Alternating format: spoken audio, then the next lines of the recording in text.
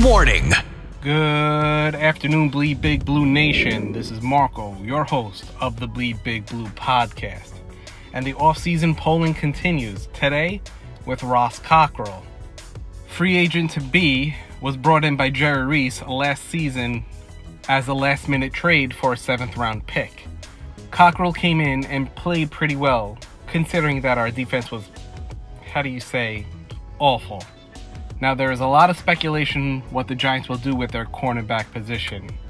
Are they trading Eli Apple? Will they cut him? What are we doing with DRC? Are we going to renegotiate his contract, trade him, cut him? Not sure.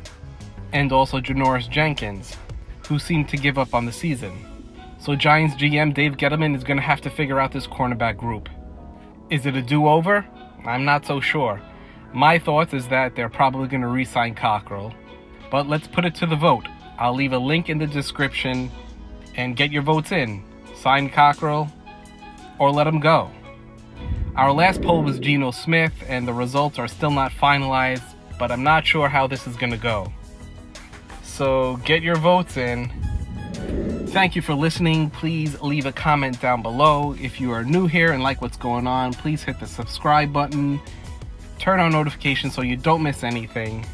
If you need any information about the channel or the website, there are always links in the description. Feel free to hit those. And I will talk to everyone tomorrow. We'll keep this one short and sweet. Peace out.